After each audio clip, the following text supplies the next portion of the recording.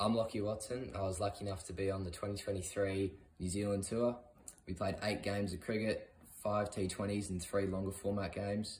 We didn't get a win on the board, but we were very competitive in, in a couple of tight run chases.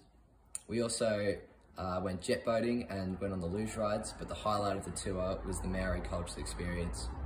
Just wanted to say a big thank you to Barry Knight and the club committee, as well as the parents and the organising group, um, for all their fundraising efforts.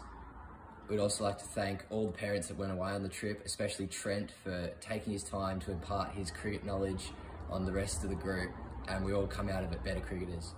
A big thank you to all of our sponsors, Avalon Airport, UPT, Hazard Alert, Steigen, who provided some New Zealand apparel, Buxton Real Estate, the Digger Group, Tremble Construction, Albert Batty, HSC Accounts, St Joseph's College and Elliott Engineering. We couldn't have done it without your support. Finally, we are very grateful for the opportunity to go on this trip and we're very excited to continue building the relationships with some of the host clubs, in particular Community Cricket Club, St Kentigern College and Howick Pakuranga Cricket Club and we hope to see them on a tour of their own in Australia next season.